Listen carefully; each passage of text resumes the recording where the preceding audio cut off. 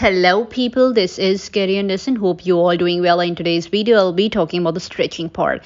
So if you like the video related to Turtle Health, I would like to request you all please to subscribe the channel, hit the bell icon and give thumbs up so that I will come up with more and more videos with lots and lots of information. So here we begin, let's go.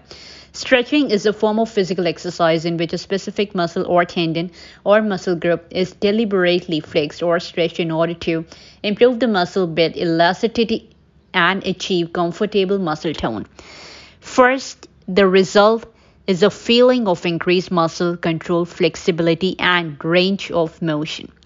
Stretching is also used therapeutically to alleviate cramps and to improve function in daily activities by increasing range of motion. In its most basic form, stretching is a natural and instinctive activity. It is performed by humans and many other animals. It can be accompanied by yawning. Stretching often occurs instinctively after waking from sleep after a long period of inactivity or after exciting confined spaces and areas. Increasing flexibility through stretching is one of the basic tenets of physical fitness, it is uh, common for athletes to stretch before for warming up and after exercise in an attempt to reduce risk of injury and increase performance. Stretching can be dangerous when performed incorrectly. There are many techniques for stretching in general, but depending on which muscle group is being stretched, some technique may be ineffective or detrimental, even to the point of causing hypermobility, and instability, or permanent damage to the tendon, ligament, and muscle fiber.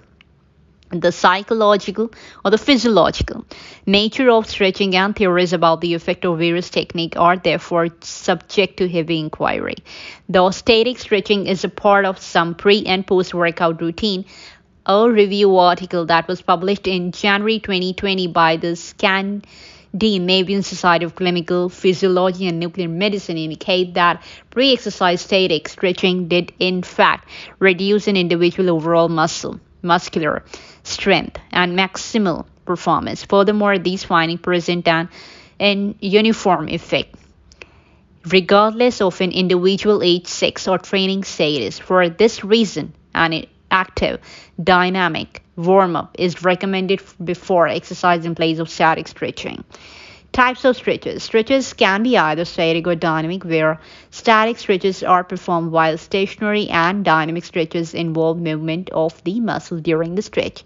Stretches can also be active or passive, where active stretches use internal forces generated by the body to perform a stretch and passive stretches involve forces from external object or people to facilitate the stretch. Stretches can involve both passive and active component. Dynamic stretching. Dynamic stretching is a movement-based stretch aimed on increasing blood flow throughout the day while also loosening up the muscle fiber. Standard dynamic stretches typically involve slow and controlled active contraction of muscle. An example of such a dynamic stretch are lunges, Another form of dynamic stretching is a ballistic stretching, which is an active stretch that involves bouncing or swinging back and forth at a high speed in order to take a muscle beyond its typical range of motion using momentum. Ballistic strength stretching may cause damage to the joint. Then it comes to static stre- stretching. The simplest static stretches are static passive stretches. According to research finding, this brings the joint to its end range of motion and hold it there using external forces. There are more advanced form of static stretching such as proprioceptive neuromuscular facilitation which involve both active muscle contraction and passive external forces. PNF stretching may involve contracting either the antagonist muscle and or agonist muscle or both. Stretching has been found both effective and ineffective based on its application for treatment.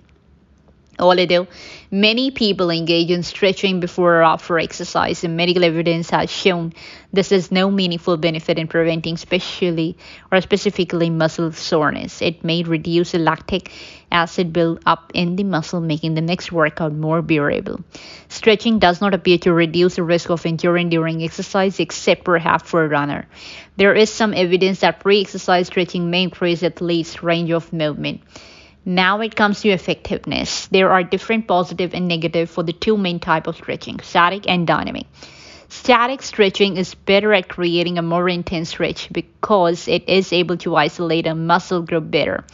But this intensity of stretching may hinder one's athletic performance because the muscle is being overstretched while held in this position and once the tension is released the muscle will tend to tighten up and may actually become weaker than it was previously also. The longer the duration of static stretching the more exhausted the muscle becomes this type of stretching has been shown to have negative result on athletic performance within the categories of power and speed however to be able to do usual daily activities a certain amount of range of motion is needed from each muscle for example, the calf muscle are one of the muscle group that have the most need for adequate flexibility since they are deeply related to normal lower limb function. When the goal is to increase flexibility, the most commonly used technique is stretching.